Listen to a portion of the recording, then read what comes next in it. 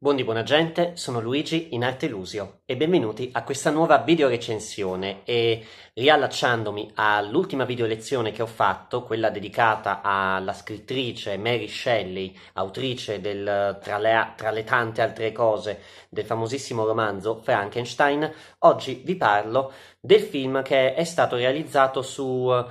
sua vita, o meglio sulla prima parte della sua vita ovvero Mary Shelley, da noi giunto in Italia con il titolo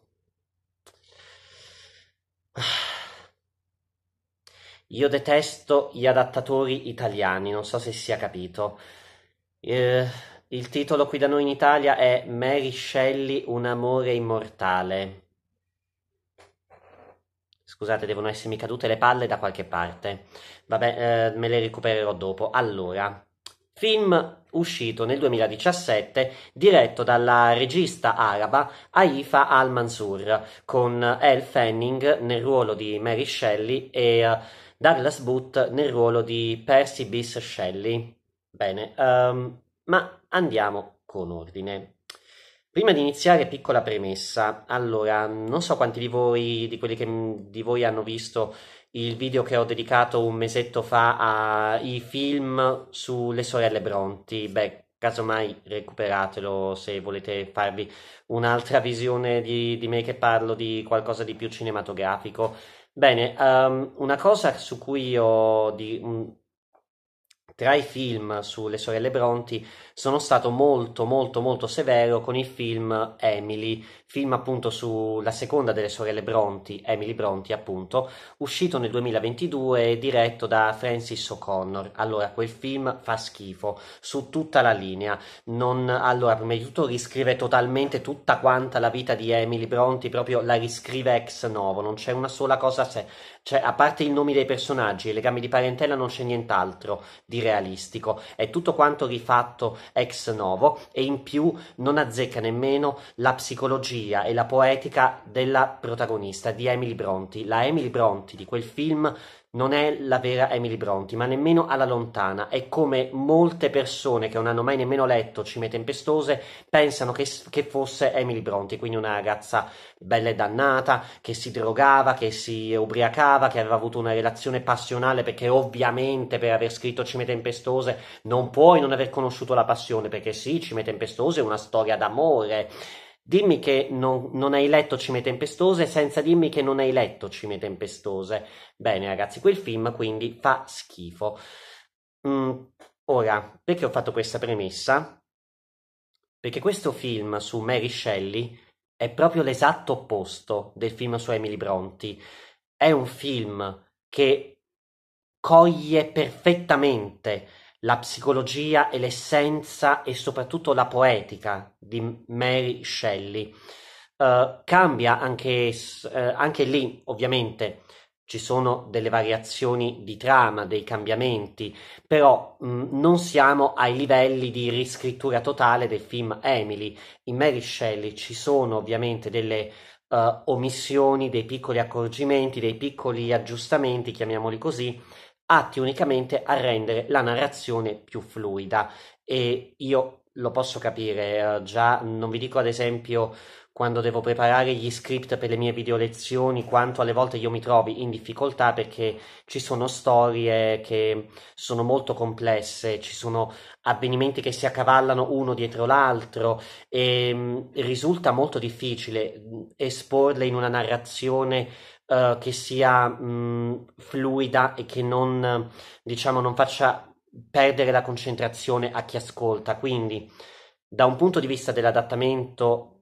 lo posso anche capire il perché di simili accorgimenti. Su alcun, alcuni non posso dire di averli apprezzati, altri invece ho, ho capito che comunque erano necessari per ovvie ragioni. Allora, mm, partiamo però dall'inizio. Allora, di cosa parla questo film, questo Mary Shelley, Un amore immortale? Vabbè, fate conto. Uh, la storia inizia con uh, la nostra Mary uh, sedicenne che si dibatte tra le costrizioni del, dell'ambiente domestico in cui si trova a vivere. In questa famiglia in cui ci sono lei, il padre,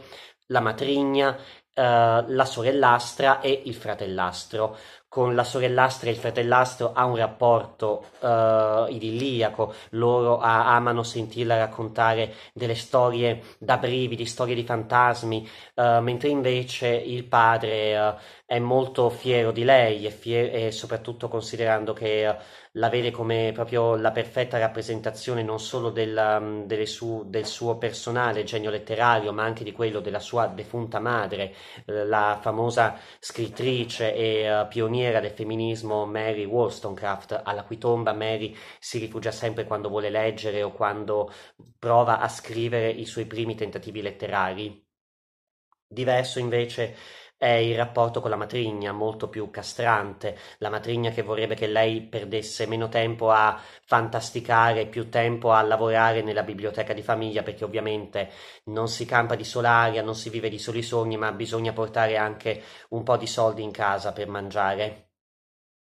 E per questo motivo, per un po' anche per arginare le... Uh, le, uh, i contrasti tra figliastra e matrigna, il padre decide di mandare la figlia Mary uh, in Scozia da certi loro amici, i Baxter, e proprio dai Baxter Mary fa la conoscenza del giovane poeta emergente Percy Bysshe Shelley e tra loro scoppia subito la scintilla, tant'è che quando lei ritorna uh, a Londra Poco dopo la raggiunge anche Percy che uh, è desideroso di uh, mettersi sotto la tutela del padre di Mary, William Godwin, che per lui è, è, praticamente il suo padre spirituale, il suo nome tutelare, dal momento che in passato William Godwin è stato promotore di, quegli, di quella filosofia rivoluzionaria alla quale Percy Bysshe Shelley si rifà grandemente, sia a livello di stile di vita che a livello di uh, poetica personale.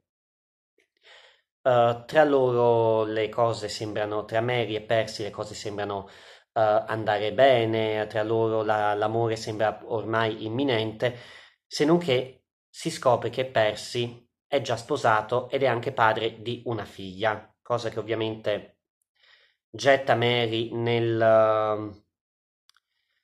in un bel in uno stato tra il confuso, il confuso e soprattutto il deluso, ma alla fine un po' l'amore, un po' anche Percy che la convince del fatto che tra lui e sua moglie non ci sia più amore e lui in realtà vuole stare con lei, alla fine i due decidono di scappare e li segue anche Claire, la sorellastra di Mary che non vuole essere lasciata uh, da sola in quell'ambiente familiare um, oppressivo. Così i tre iniziano una vita vagabonda ed errabonda, pu- con, nel quale purtroppo Mary finisce subito per perdere le illusioni un po' anche infantili del suo sogno d'amore. E i, due, e i tre si ritrovano a scontrarsi con una serie di difficoltà economiche, dovendo vivere in ambienti uh, poveri e quando riescono ad avere un tot di... Uh,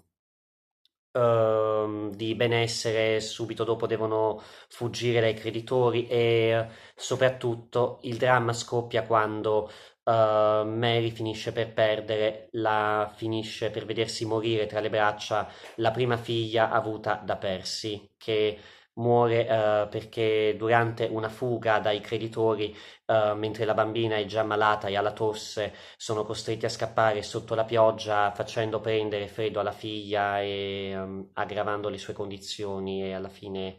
la neonata um, purtroppo morirà. E questo, uh, questo senso, questa prima perdita si associerà ha vari sogni in cui lei sogna di, fi- di vedere la figlia ritornare in vita e poi unito poi ad altre, ad altre cose tipo l'andare ad assistere agli esperimenti del galvanismo sull'elettricità che riesce a sembra poter ridare la non dico la vita ma a Beh, gli esperimenti del galvanismo un po' li conosciamo, ovvero si collegavano gli uh, elettrodi di ferro alle zampe di rana e uh, quelle uh, grazie all'elettricità si muovevano, dando quindi l'illusione che queste zampe di rana fossero senzienti e vive. E poi le cose ulteriori uh, cambiano ancora di più quando uh, i tre, grazie anche un poco agli intrallazzi di Claire, si ritrovano ad andare in Svizzera a Villa Diodati a imbucarsi come ospiti uh, di uh, Lord Byron, uno dei più grandi poeti dell'epoca, ed è proprio in questo ambiente che uh, un po' mh, il rapporto tra Mary e Percy che è quasi ai ferri corti, i dialoghi tra Mary e il dottor Polidori, la, le, le, i sogni incubi orrorifici in seguito ai racconti di fantasmi, la visione totale su tutto mh, quell'universo di su quel mondo che lei, che Mary pensava fosse pieno di ideali, di grandi sogni, di grandi aspettative, in realtà si scontra con una realtà molto più triste, con una marea di disillusioni e di delusioni, alla fine inizia a partorire l'idea per quello che sarà il suo capolavoro, ovvero Frankenstein. Ma non, manche, ma non finiranno qui le difficoltà di Mary, che si ritroverà purtroppo a scontrarsi con un universo editoriale che la giudica in quanto donna che scrive, più che giudicare la sua opera. Infatti, come dirà lei al primo editore che rifiuterà di pubblicare il suo romanzo, uh, lei dirà Avreste compreso davvero l'essenza del mio romanzo se in, invece di perdere tempo a giudicare, se aveste speso il vostro tempo a giudicare il mio libro invece che giudicare me. Non vi, non vi dico altro, spero già solo con questo che uh, di aver incentivato voi la, la, voglia di vedere questo film qualora non l'abbiate visto. Uh, allora, e questa è un po' la trama per sommi righe che vi ho praticamente ho raccontato tre quarti del film, però vabbè, senza scendere troppo nei particolari, senza spiegare bene nel dettaglio uh, vari, varie cose soprattutto ragazzi senza ancora dirvi che bella, eh, che bella interpretazione io mi sia trovato davanti, specialmente da parte dell'attrice protagonista, Elle Fanning, secondo me una delle migliori promesse della nuova cinematografia perché veramente ragazzi El Fanning, uh, nonostante sia giovanissima, adesso ha, mm, mi pare abbia 26-27 anni, dovrebbe avere, comunque non ha nemmeno 30 anni, quindi figuratevi. Quando ha, ha recitato in questo film aveva malapena 20 anni, quindi comunque si trovava proprio, era adatta per il ruolo della giovane Mary Shelley, poi a parte il fatto che il Fanning se- ha sempre questo viso uh, dai tratti molto infantili, molto fanciulleschi, sembra quasi un'eterna bambina, però ha questo sguardo così adulto, così maturo, proprio che um, uh, non lo so, ha, questo viso da sfinge, da quasi alieno, mi verrebbe da dire, ha questo fascino che è tutto dagli occhi, secondo me, derivato proprio dagli occhi, che sono in contrasto con i tratti dolci del suo viso. Lei ha uno sguardo adulto in un viso da molto fanciullesco ed è perfetto per un personaggio come quello di Mary Shelley, che deve rappresentare tanto una ragazza, non ancora una donna, ma una ragazza che ha avuto talmente tante già un bagaglio tale di esperienza da essere ormai praticamente già una donna adulta con un suo vissuto, ne ha passate talmente tante in così pochi anni che ormai lei a 19 anni già non aveva più nulla da raccontare a nessun altro e Elle Fanning lo esprime perfettamente. Io penso che questa sia, sia stata, non dico una delle sue interpretazioni migliori perché cioè, se dovessi elencare tutte le buone, le ottime interpretazioni di Al Fanning, cioè, raga, non la finirei più. Uh, trovatemi voi un'interpretazione fatta da Al Fanning che non sia stata eccellente. Cioè, la serie TV uh,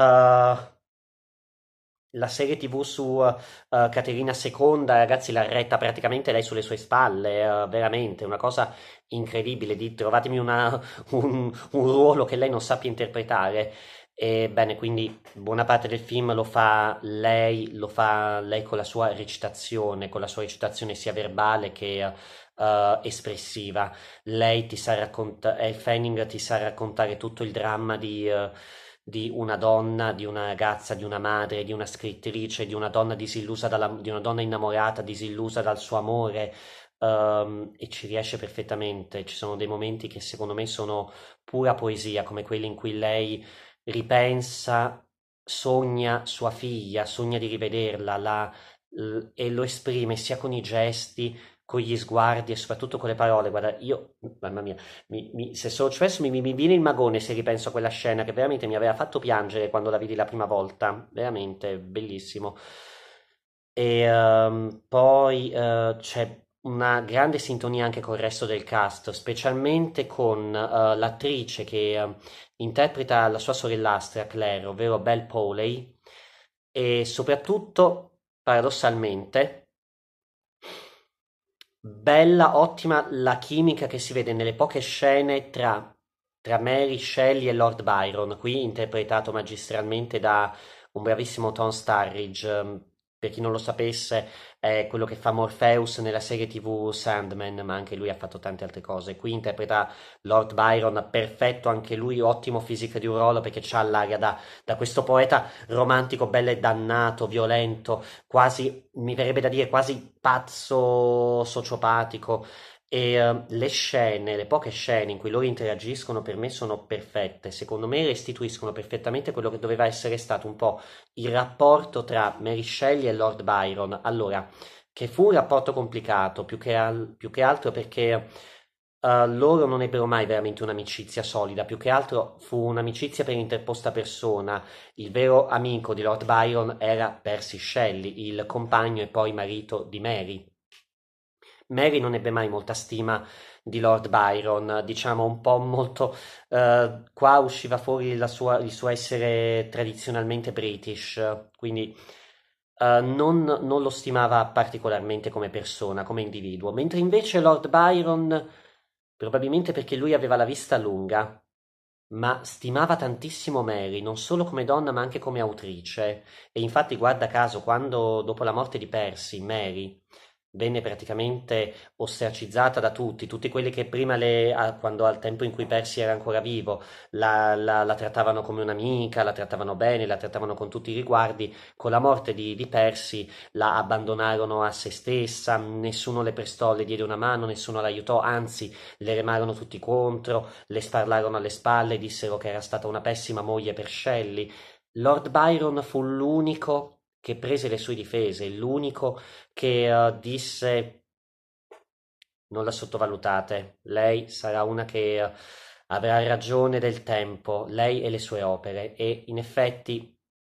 fu fu un ottimo profeta Lord Byron. Bene, qui come vi ho detto in questo film ci sono poche scene tra loro due, forse sono giusto due o tre scene delle quali solo una è veramente incentrata solo su loro due ed esprime perfettamente questa, questo rapporto molto ambivalente con Mary che guarda sempre con molta diffidenza e quasi con disgusto Lord Byron e Lord Byron che la guarda proprio da pari a pari, la guarda appunto come un poeta guarda un'altra, un'altra poetessa, proprio con grande stima. Infatti l'ultima parola che lui le rivolge è non vedo l'ora di leggere le sue opere, spero di leggerle presto. Già capendo, e qui si vede quanto uh, Lord Byron capisca Mary molto più di Percy, Percy Shelley che qui è interpretato da Douglas Booth. Allora, allora, probabilmente mi, mi attirerò l'odio di qualche fan, ma Douglas Booth come attore non mi ha mai detto nulla. Sinceramente l'ho sempre visto molto uh, amorfo, molto abulico poco espressivo e francamente non lo vedo nemmeno tutta questa non vedo tutto questo gran talento. Diciamo che mi, da, mi ha sempre dato quell'impressione dell'attore che viene messo lì soltanto perché è, è bello e uh, la sua presenza attira magari il pubblico femminile in sala o il pubblico anche gay perché magari c'è chi piace a me sinceramente non mi ha mai eh, detto nulla come attore, come interprete. In questo film un po' di più magari, ma giusto perché all'interno della narrazione del film, ed è chiaro proprio dalla scelta della regista, Percy eh, deve risultare come l'antagonista del film. Attenzione, ho detto l'antagonista, non il villain uh, Percy in questo film non è mai crudele, non è mai violento, non è, non è, non è cattivo nei confronti di Mary, no, però capiamo che è l'antagonista perché è forse l'ostacolo maggiore nel percorso di Mary. Se Byron, come vi ho detto, è uno che capisce subito il talento di Mary dopo averla anche solo vista e dopo averci parlato solo poche volte, Percy pur non soffocando mai l'estro poetico e artistico di Mary, non sembra mai prenderla sul serio. Lui la incentiva a scrivere, la invoglia a scrivere, però non va mai oltre il semplice dai fallo, scrivi, scrivi, devi esprimere anche tu il tuo pensiero, ma per il resto non sembra mai uh, comprenderla appieno e lo capiamo nei momenti proprio più uh, drammatici, uh, già quando lei scopre che lui è già sposato e ha una figlia, lui sembra più che altro desideroso unicamente di far capire che in realtà il suo matrimonio non è nulla di che, lui non ama sua moglie, la, la, sostiene soltanto per, per, per senso del per correttezza, eccetera, ma che in realtà lui ama Mary, le esprime tanti di quei sentimenti amorosi, ma che sembrano unicamente fini a se stessi. Per il resto Percy non esprime mai davvero il suo amore per Mary, lo esprime in una maniera molto banale, uh, dicendole quanto la ama, quanto è felice con lei, ma per il resto, quando dovrebbe davvero esprimere il suo amore, quando ad esempio muore la loro figlia e vede che Mary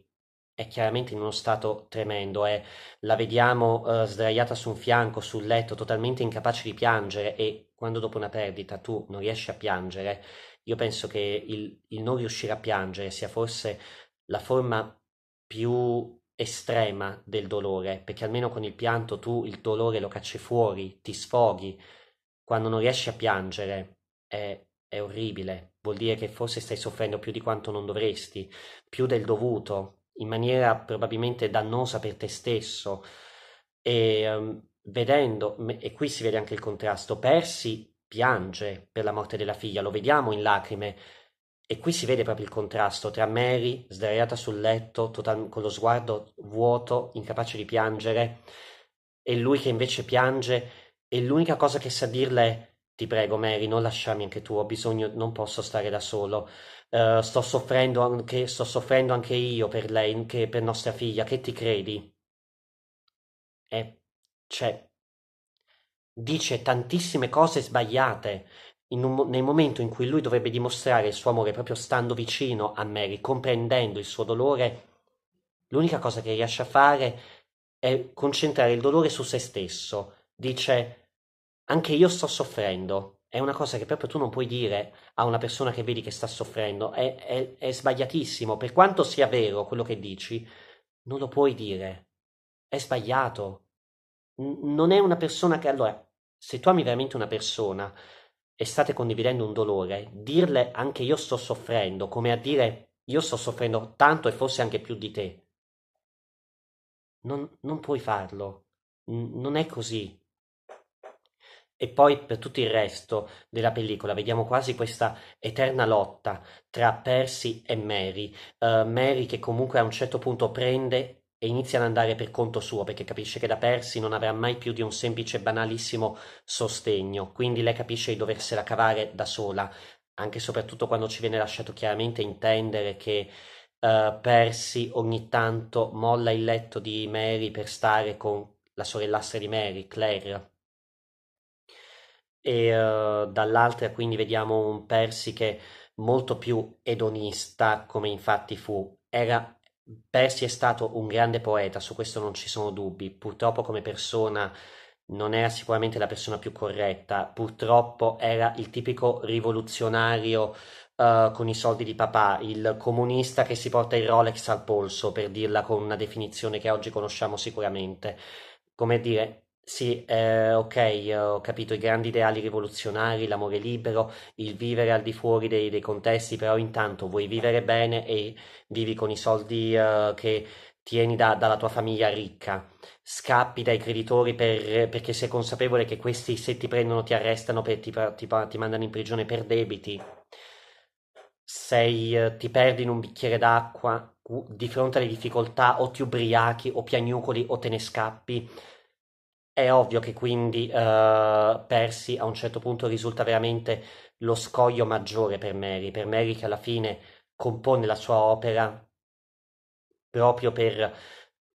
parlare, di uh, gridare al mondo la sua rabbia per questo valanga di illusioni. Lei nasce a inizio film come questa ragazza uh, idealiz- idealistica, idealista che uh, vede questo giovane poeta e lo trova come un suo spirito affine, come la sua anche chiave per scappare via da quell'ambiente uh, soffocante che è il suo ambiente domestico, salvo poi rendersi conto che si è ritrovata in un ambiente altrettanto soffocante, anche se in maniera diversa.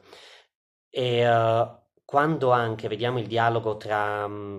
tra Percy e Mary, in cui Mary gli ha fatto leggere la prima bozza del suo romanzo, vediamo un Percy che comunque la sostiene, la sollecita, è, è impressionato dalla sua opera, però però dice perché deve essere così cupo, perché così pessimista, uh, perché la creatura deve essere un mostro. Potre- il dottor Frankenstein non potrebbe aver creato uh, la, la, creatura perfetta, la creatura bellissima, un angelo, così da portare speranza nell'umanità. E Mary lo guarda e dice, scusa ma, ma lo vedi dove viviamo? Viviamo in una catapecchia. Questi sono i grandi ideali a questo ci portano. Io non sto portando le illusioni, i sogni, io sto portando la realtà. Questa è la realtà. E qui si vede proprio, uh, proprio uh, la lotta tra, tra questi due individui molto forti. Alla fine avviene una riconciliazione tra loro due, ma è una riconciliazione uh, molto basica che secondo me anche in linea con, que- con quello che voleva raccontare l'autrice è messa lì soltanto per una questione narrativa, perché comunque l'autrice,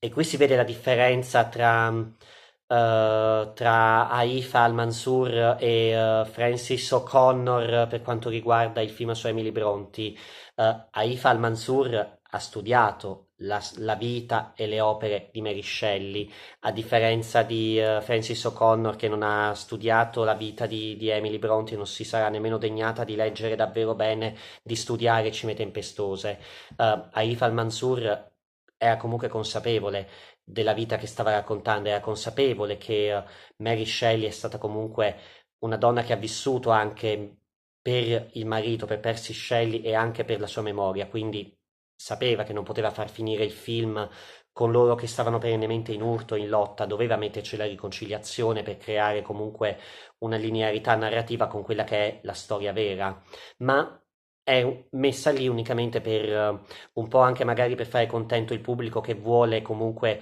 il lieto fine per la coppia di innamorati, ma in sostanza il vero lieto fine per Mary è il fatto che lei si vede riconosciuta la sua identità di scrittrice. Infatti il film non si conclude con la riconciliazione di Mary e di Percy, ma con Mary che vede che la sua opera viene pubblicata con il suo nome, non con, con, una, una, un, con l'anonimo come venne pubblicato in realtà nella realtà, quindi con infatti Frankenstein uscì da, scritto da autore anonimo il vero finale, che è anche il vero lieto fine per Mary, è vedere Franken, eh, il suo libro pubblicato così con sulla copertina Frankenstein o il moderno Prometeo di Mary Shelley. Questo è il vero lieto fine, il riconoscimento di lei in quanto individuo di lei in quanto scrittrice e soprattutto la sua opera che viene letta e amata da tutti. Bellissimo poi anche il modo in cui uh, viene descritta la, quest'opera, ad esempio come quando Mary fa leggere um, il, suo roma- il, suo manoscritto alla sorellastra Claire che uh, in lacrime uh, lo dice e dice esattamente quello che ogni lettore che legge Frankenstein alla prima volta pensa ed è quello che ho pensato anch'io, infatti io mi sono riconosciuto molto a, in quello che dice Claire, ovvero che l'ha terrorizzata questo romanzo, ma a un certo punto l'ha anche presa tantissimo e lei ha desiderato la vendetta della sua creatura, della creatura di Frankenstein, ha voluto che lui si vendicasse. Ed è veramente quello che io mi sono rivisto perché è esattamente quello che io ho provato come lettore quando lessi la prima volta Frankenstein, quando lo lessi per la prima volta che avevo 15-16 anni, io mi spaventai a morte e interruppi la lettura perché non ce la facevo ad andare avanti, ma non per la storia in sé, ma perché c'era talmente tanto odio, tanta passionalità proprio non, che mi sembrava troppo per me. E quando lo, le- lo lessi poi, che avevo 18-19 anni, alcuni anni dopo, di- avevo 18-19 anni, guarda caso le tue età in cui Mary aveva iniziato a scrivere e poi quando l'ha pubblicato, manco a dirlo, e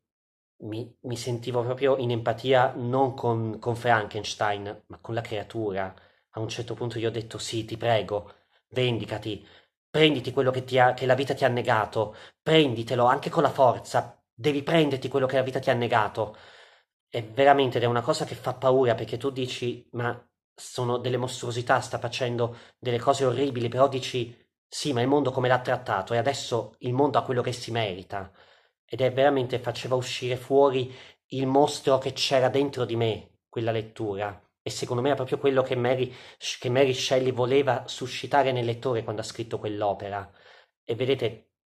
e questo film proprio te lo racconta perfettamente, ti racconta come Mary è diventata la sua creatura, come Mary ha accumulato tutto questo malessere, come lei ha voluto vendicarsi di questo mondo, di, queste, di questi sogni, di queste illusioni ed è stato qualcosa di bellissimo, è molto catartico questo film a un certo punto, veramente, specialmente sul finale. Um, poi uh, da un punto di vista poi uh, di atmosfera è fatto veramente bene, ci sono le atmosfere proprio di tipicamente uh, un po', un po' Regency ma anche molto romantiche e decadenti, quasi gotiche, con questo, con questo stile Regency che spicca ma non ha uh, quel colore uh, pastelloso, vivace che potresti trovare uh, nel, nella storia di Jane Austen o negli adattamenti cinematografici dei romanzi di Jane Austen dove tutto è luminoso, tutto è colorato, o, mm,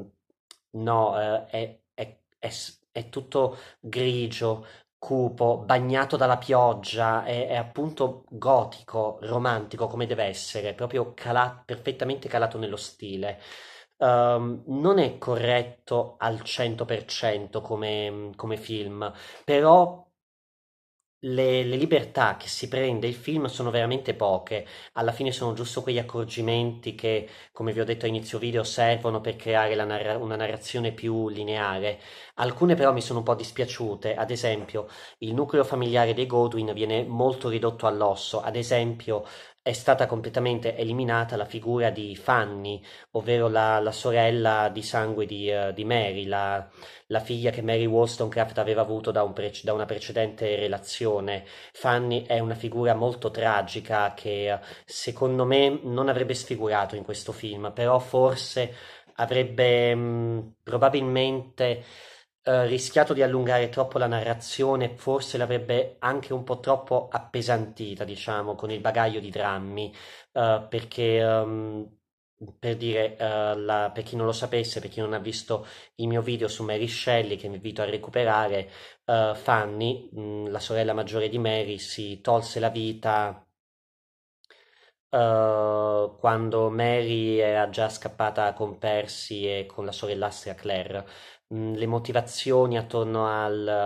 a, questa, a, questo atto di Fanny non sono ancora oggi molto chiare. Banalmente, probabilmente era solo malata di depressione e la situazione familiare con i problemi economici, eh, lo scandalo derivato dalla fuga di Mary e di Claire le avevano purtroppo eh, aggravato uno stato già di per sé molto disperato. È probabile che forse avesse anche cercato l'aiuto di Mary e il fatto che Mary avesse scelto di portare con sé Claire piuttosto che Fanny probabilmente aveva mh, dato un colpo in più al, allo, stato di, uh, allo stato psicologico precario di Fanny. E comunque anche la morte della sorella lasciò le sue tracce in Mary che comunque anche nel personaggio di Justine presente in, um, in, Frankenstein sembra ricalcare un po' la disperazione della sorella, oltre che la disperazione della prima moglie di, uh, di Percy, Harriet, che,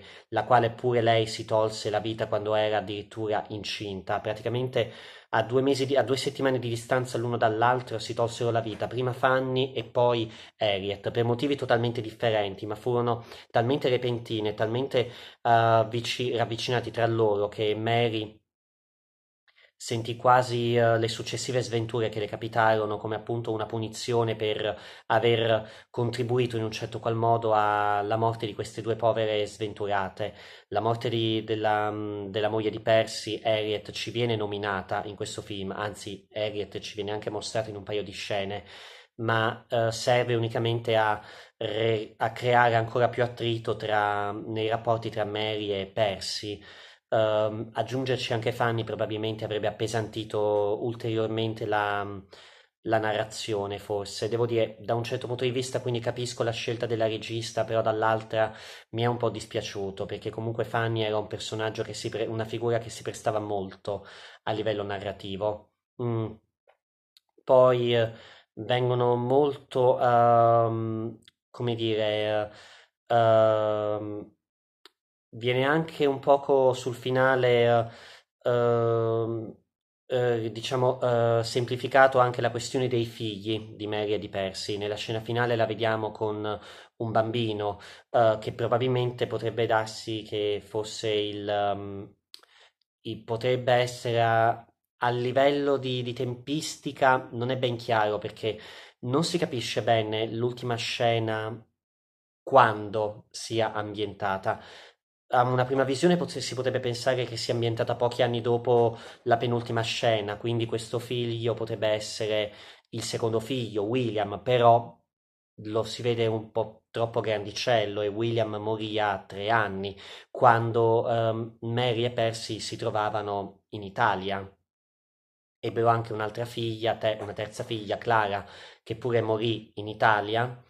e sempre in Italia nacque un quarto figlio, Percy Florence, che fu l'unico che raggiunse l'età adulta. Ecco, mi verrebbe quasi da pensare che la scena finale, proprio l'epilogo, possa essere invece un, un, salto in avanti nel tempo, addirittura quindi dopo la morte addirittura di Percy, perché buona parte della, degli anni successivi alla pubblicazione di, uh, di, Frankenstein, Mary e Percy li passarono in Italia, dove appunto poi sarebbe morto Percy, sarebbe morto annegato uh, in mare. Quindi questa scena, quindi con questa Mary chiaramente un po' più adulta, con questo figlio già un po' più grandicello cam- con il quale cammina per strada, si ferma davanti alla vetrina della libreria di suo padre e vede messo in, in, sulla vetrina, in vetrina il suo romanzo con tanto di, del suo nome di autrice. Potrebbe quindi essere quindi un, un, salto in avanti successivo alla vita di Mary, quindi dopo quando già era ancora vedova, ma probabilmente è una mia uh, interpretazione personale.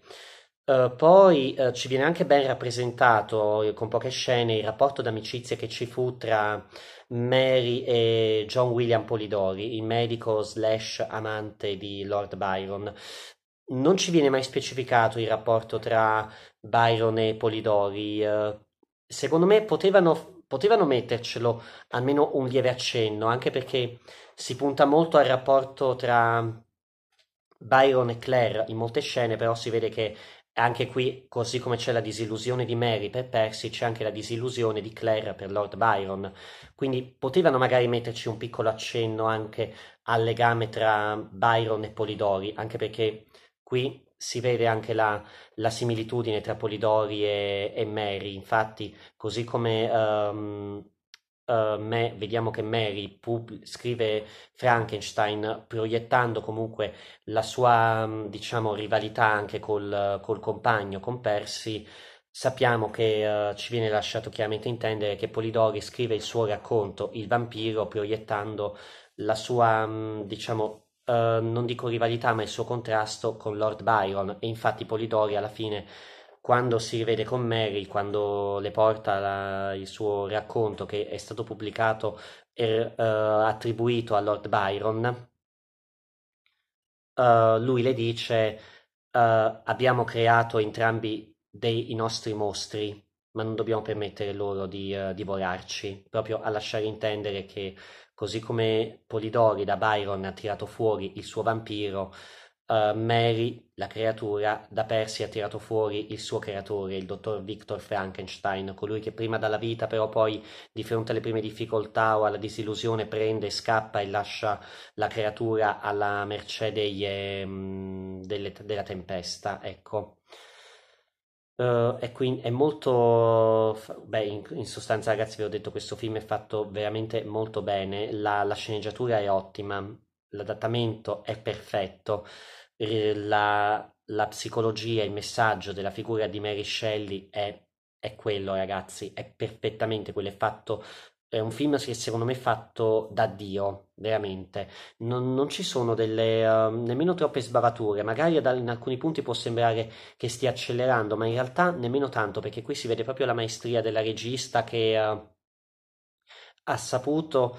uh, destreggiarsi bene in una narrazione di per sé non facile, perché è molto complessa la storia di Mary Shelley e ci è riuscita perfettamente, uh, tramite anche certi ausili narrativi, come ad esempio la, la costruzione narrativa uh, intervallata da, dai monologhi di Al Fanning, fatti benissimo, che uh, accompagnati poi a una musica bellissima ti rendono la visione molto